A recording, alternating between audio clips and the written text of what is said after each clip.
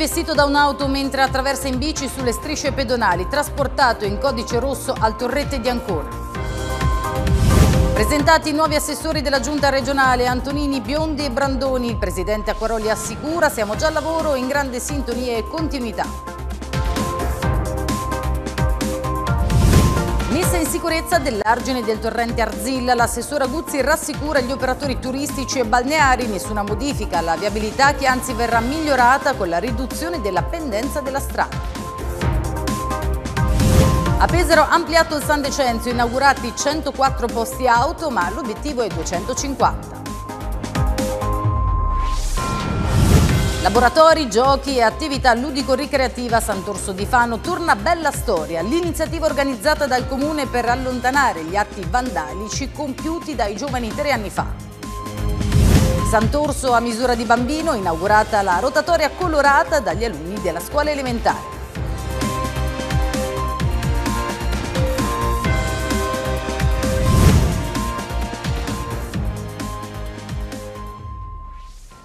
Buonasera e benvenuti a questa nuova edizione di Occhio alla Notizia. Nove giorni dal decreto di nomina dei nuovi assessori, oggi si è svolta la conferenza stampa di presentazione della nuova giunta regionale. Un'occasione anche per annunciare gli obiettivi perseguiti dall'esecutivo, sanità, infrastrutture e post-alluvioni, i temi trattati dal presidente Francesco Acquaroli. Una nuova giunta nel segno della continuità amministrativa. Dopo l'insediamento dei nuovi assessori e consiglieri oggi a Palazzo Raffaello è stata presentata alla stampa la nuova giunta regionale. Goffredo Brandoni di Fratelli d'Italia, Andrea Maria Antonini e Chiara Biondi della Lega hanno sostituito rispettivamente Guido Castelli, Mirko Carloni e Giorgia Latini. Dopo il governatore, la prima a prendere parola è stata l'ormai ex consigliera Fabrenese che nel passaggio di testimone tra quote rosa ha preso le deleghe a cultura, istruzione, sport e pari opportunità Vida. Biondi ha dichiarato di aver già esaminato i dossier più importanti, come quelli inerenti alla candidatura UNESCO dei teatri storici, alle manifestazioni sportive internazionali e quelli sull'associazionismo. Inoltre, ieri ha incontrato il ministro all'istruzione Valditara, al quale ha fatto presente le criticità legate al sistema scolastico come le classi pollaio. Non mancherà il confronto con il territorio per lei fondamentale. Sì, beh, io sono, vengo dal territorio, sono abituata a confrontarmi sempre con i miei elettori e non solo, comunque con tutti coloro che mi sottopongono delle, delle, richieste specifiche, sono molto attenta, sono molto dedita all'ascolto, anche perché questa è diciamo, una caratteristica che eh, ho preso dal mio lavoro in quanto sono un avvocato.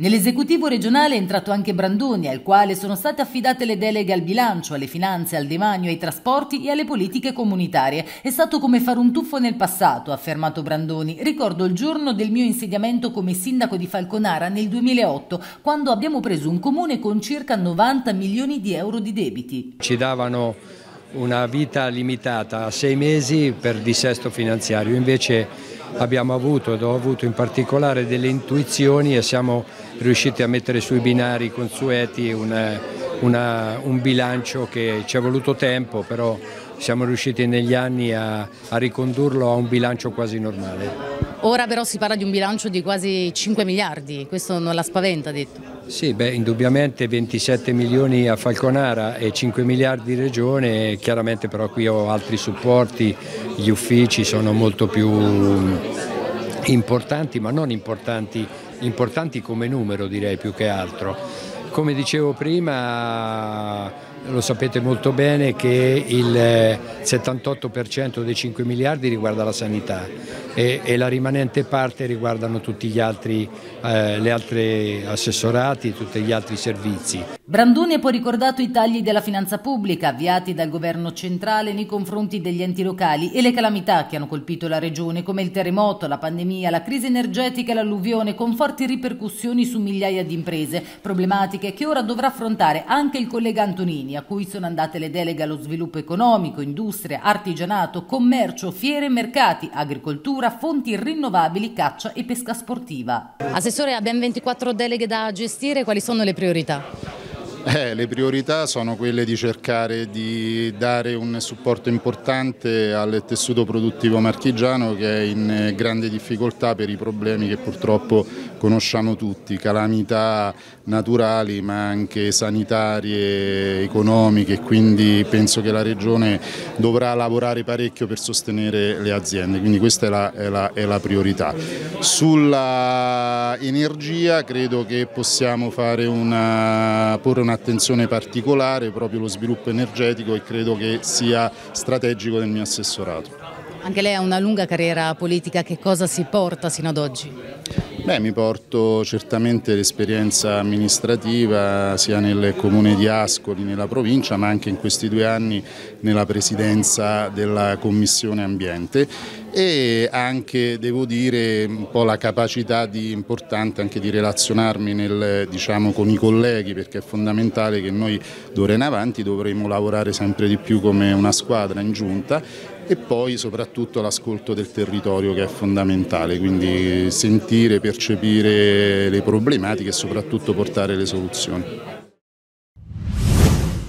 I temi sono quelli dell'interconnessione nella nostra regione. La presentazione della nuova giunta è stata anche l'occasione per fare un bilancio sulle azioni di governo e sulle sfide future. Acquaroli ha citato, tra le altre cose, la costituzione sia dell'Agenzia regionale per il turismo e l'internazionalizzazione, sia della SVEM, la società di sviluppo della regione. Poi il salvataggio dell'Interporto, la riorganizzazione dell'ASSAM, l'Agenzia per i servizi nel settore agroalimentare, oltre agli interventi per gli ospedali di Pesore, Macerata e il lavoro per individuare l'area per il nuovo nosocomio di San Benedetto del Tronto. Inoltre per il governatore sono necessarie altre tre leggi per lo sviluppo dell'intero territorio marchigiano. Tre leggi attese da tantissimo tempo, dopo la riforma delle aziende sanitarie arriverà il nuovo piano sociosanitario che eh, sarà fatto alla luce degli studi di approfondimento sul fabbisogno e che ci potranno permettere una riorganizzazione, una riprogrammazione che possa essere più equilibrata, che sarà attenta a limitare la mobilità passiva e soprattutto a recuperare risorse per poter distribuire. Chiaramente questo avviene in un quadro dove l'emergenza sanitaria, soprattutto per la carenza dei medici, è un'emergenza elevatissima a livello nazionale.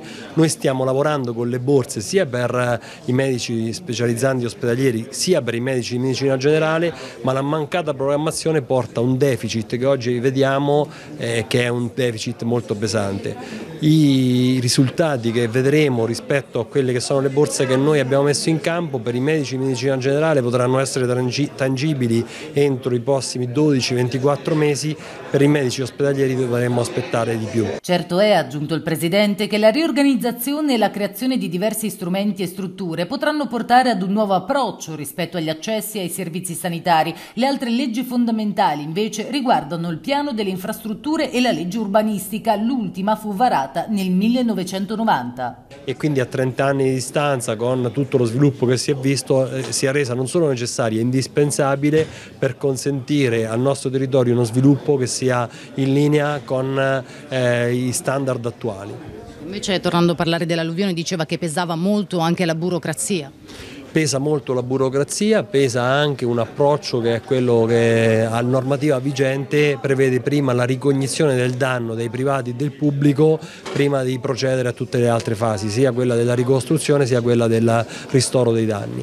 È una burocrazia eh, e delle procedure che sono assolutamente indispensabili e stiamo cercando di sostenere i territori, i sindaci e tutti i soggetti interessati colpiti dall'alluvione, ma contiamo nelle prossime settimane settimane di poter dare una linea guida precisa rispetto a quelli che sono gli obiettivi che spero potranno essere raggiunti nel prima, prima possibile, nel più breve tempo possibile, sia nel ripristino di tutte le infrastrutture, nel miglioramento delle infrastrutture, ma anche nella messa in sicurezza del territorio. E adesso la cronaca con un incidente che si è verificato questa mattina alle 9.45 in Viale Buozzi a Fano, all'altezza della rotatoria, dove un ciclista fanese di 63 anni che attraversava sulle strisce pedonali in sella alla bicicletta è stato investito da una utilitaria condotta da una fanese di 71 anni. Il ciclista è stato trasportato in codice rosso all'ospedale di Torrette di Ancona. Sul posto anche la polizia locale per i rilievi di legge. Ci spostiamo a Pesaro dove sono terminati i lavori al San Decenzio ed è stata inaugurata l'area che conta 104 posti auto. Come spiegato da Ricci e Pozzi si tratta di un nuovo parcheggio scambiatore gratuito che potenzia il quartiere e la città.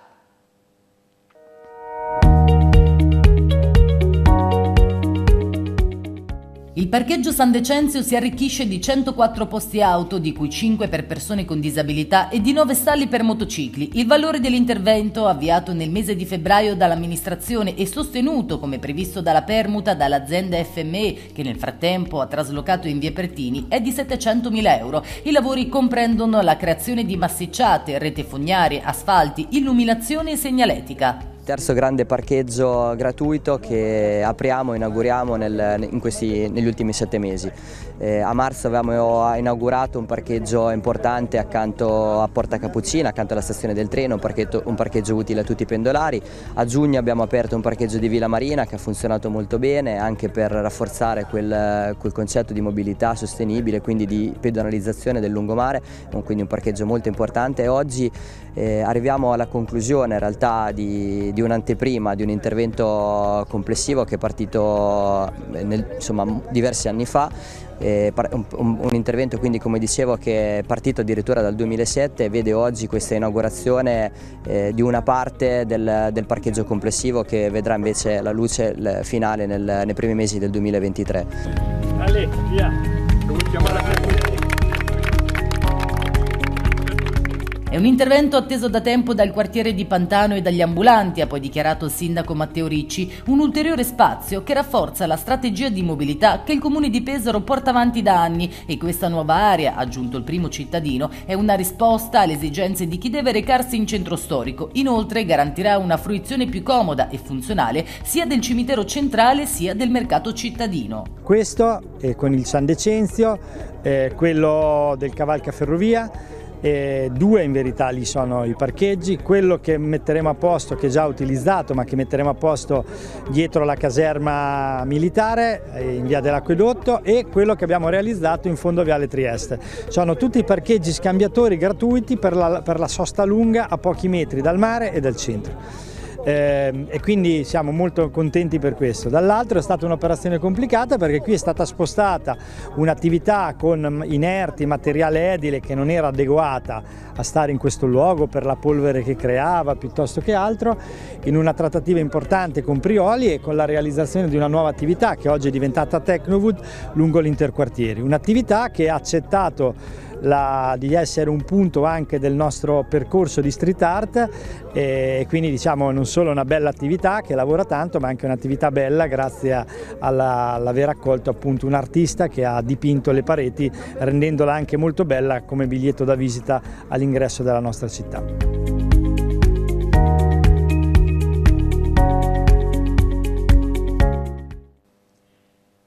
Nel giorno della marcia su Roma uno striscione indegno è il commento del sindaco di Pesaro Matteo Ricci in merito al manifesto apparso al campus scolastico. Un atto vergognoso, aggiunto Ricci, davanti ad un luogo frequentato da giovani studiosi. Ho detto di rimuovere immediatamente questa oscenità. Pesaro sarà sempre schierata contro la cultura fascista. Un'azione condannata anche dal presidente della provincia di Pesaro Urbino, Giuseppe Paolini, che ha subito stigmatizzato l'accaduto. Sporgeremo denuncia, ha detto, abbiamo segnalato il fatto alle forze dell'ordine per svolgere le opportune indagini. E la Regione assegna contributi alle imprese commerciali del settore non alimentare per l'acquisto di merci. Il bando è riservato alle micro e piccole imprese e a disposizione ci sono 200.000 euro. La delibera, ha spiegato l'assessore al commercio Antonini, risponde a esigenze del settore che sconta ancora l'emergenza sanitaria con le restrizioni nazionali dovute al lockdown e al conseguente calo dei consumi. Il contributo rappresenta un'agevolazione, una tantum a fondo perduto, parametrato al 10% dell'importo delle merci acquistate. Verrà assegnato alle imprese con minore volume di affari rispetto al 2021 sulla base delle risorse disponibili. In caso di parità si terrà conto dell'ordine cronologico di arrivo delle richieste e a parità ancora in corso all'impresa che ha sostenuto l'investimento maggiore nell'acquisto delle merci. Il bando sarà visibile sul sito commercio.marche.it. Invece l'assessore regionale Stefano Guzzi ha incontrato gli operatori balneari e del turismo della zona dell'Arzilla per illustrare il progetto di messa in sicurezza dell'argine di sinistra del torrente in prossimità della foce. Ho voluto rassicurare, ha detto Guzzi, che la viabilità di accesso alla zona della statale adriatica rimarrà invariata, addirittura con un miglioramento nella pendenza della strada. Da parte degli operatori, ha continuato Guzzi, c'era la preoccupazione che l'innalzamento degli argini avrebbe potuto limitare l'accesso all'area da parte dei mezzi di soccorso e di servizio e che anche la viabilità pedonabile e ciclabile, prima consentita, avrebbe potuto risentirne in negativo. Cartine alla mano si evince che la pendenza della strada carrabile verso il torrente si ridurrà passando dall'attuale 17,2% al 14,7%. I lavori sono già iniziati per un costo di 180.000 euro, tutti a carico della Regione. Cambiamo argomento. Dopo gli atti vandalici del 31 ottobre 2020 a Sant'Orso di Fano, il Comune ripropone una giornata con laboratori, giochi e musica per allontanare i brutti episodi accaduti tre anni fa. Il servizio di Filippo Pucci.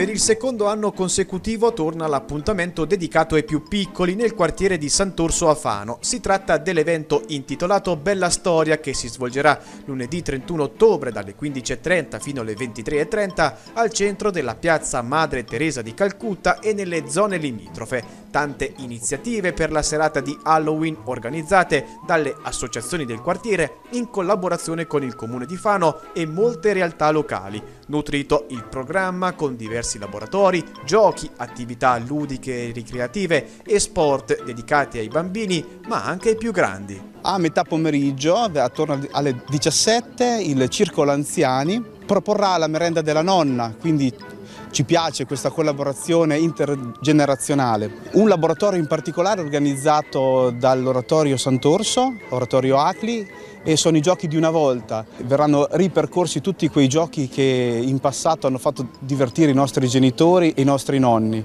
Poi ci sarà mm, una cosa in più rispetto all'anno scorso che è la cena, il momento della cena con eh, i food truck, quindi fermatevi tutti per poi partire con la caccia al tesoro, un mistero a Sant'Orso organizzata dall'Azione Cattolica Parrocchiale in collaborazione con l'Oratorio che farà divertire tutti i bambini e tutti i ragazzi. Per partecipare alla caccia al tesoro è necessaria l'iscrizione inviando un messaggio WhatsApp a questo numero entro il 29 ottobre. A concludere l'evento sarà la musica del DJ Matteo Petrelli nella piazza del centro commerciale. Ripetiamo la festa di Halloween che vogliamo che diventi per tutta la città e approfitto di questo momento proprio per invitare tutti perché non è di Sant'Orso ma è della città di Fano tante collaborazioni, tante attività, tanto divertimento. Direi proprio l'occasione per non mancare e dare ad Halloween un tema, uno sfondo diverso dalla paura.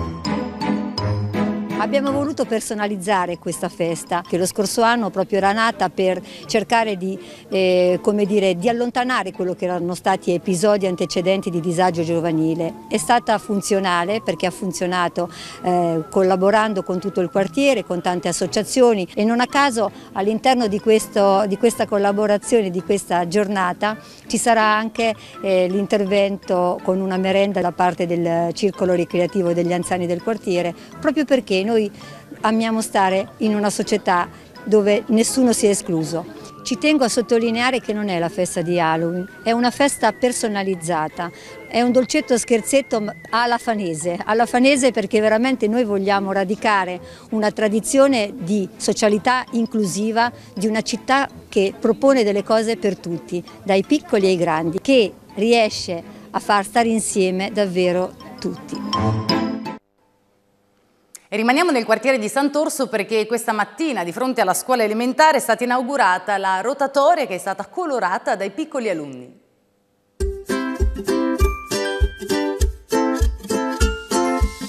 Abbiamo inaugurato insieme al sindaco e tutta la scuola la rotatoria di Sant'Orso davanti alla scuola, il coronamento di un progetto che nasce da lontano, da 4-5 anni fa, col quartiere Maggiore di Bambino, L'hanno ideata, disegnata e anche realizzata in questi giorni con uh, i colori. Presenta un mandala che hanno progettato e disegnato i bambini tre o quattro anni fa ed è la sintesi di diverse classi che hanno lavorato su questo con la finalità di raggiungere lo star bene insieme e anche eh, il benessere delle, dei bambini che vivono in questa zona. Grazie alla collaborazione dell'associazione di quartiere che ci ha aiutato a predisporre tutta la realizzazione. Oltre a questa rotatoria che speriamo diventi un segno distintivo anche di qualità del quartiere, i bambini stamattina sono tornati a piedi ad andare a scuola da soli e con l'aiuto della polizia locale, di tutto il quartiere, degli insegnanti, dei genitori e vorremmo proprio che questa diventasse un'abitudine permanente. Per questo abbiamo bisogno di tutta la collaborazione di chi abita nel quartiere, di tutti gli automobilisti ed è bel, un bel risultato. Dopo, abbiamo ripreso dopo la pandemia, abbiamo rifatto tutto il percorso educativo perché i bambini sono tutti nuovi rispetto a tre anni fa, no? quindi speriamo però che questo lasci un segnale forte all'interno de, dentro i bambini per adottare sempre modi di mobilità sostenibile. In questo momento i bambini, oltre ad aver fatto il percorso casa scuola, sono al centro commerciale a consegnare un adesivo a tutti i negozi che si sono detti disponibili ad aiutarli in questa loro esperienza di autonomia. Eh, I bambini danno vivacità al quartiere e Tutte queste cose insieme sicuramente renderanno più vivibile, più accogliente, più allegro e vivace questo quartiere, compresa la nostra nuova rotatoria.